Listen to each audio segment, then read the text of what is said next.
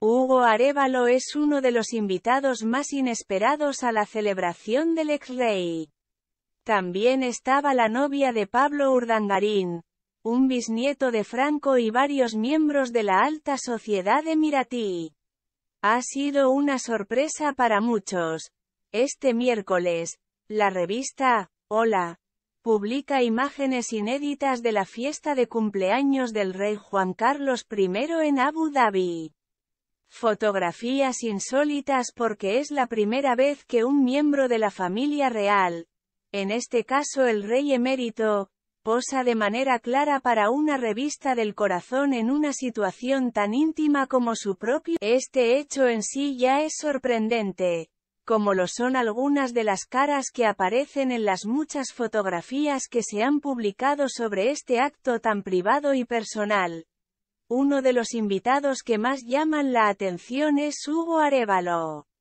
¿Les suena el nombre? Puede que a pocos, aunque si les decimos que fue el novio de Tamara Falcó durante su ruptura con Íñigo Onieva, seguramente lo puedan situar en el mapa. Sí, es aquel ex amigo de Onieva al que el actual marido de la marquesa de Griñón llamó, rata. La cara de Arevalo aparece algo difuminada, pero en Vanitatis hemos podido confirmar que estaba entre los asistentes al festejo real. Lo que no hemos podido saber por el momento es en calidad de qué. Sabemos, eso sí, que tiene relación con la hiperdiscreta María Fernández Longoria, relacionada a su vez íntimamente con el rey Juan Carlos y también con su hija la infanta Elena.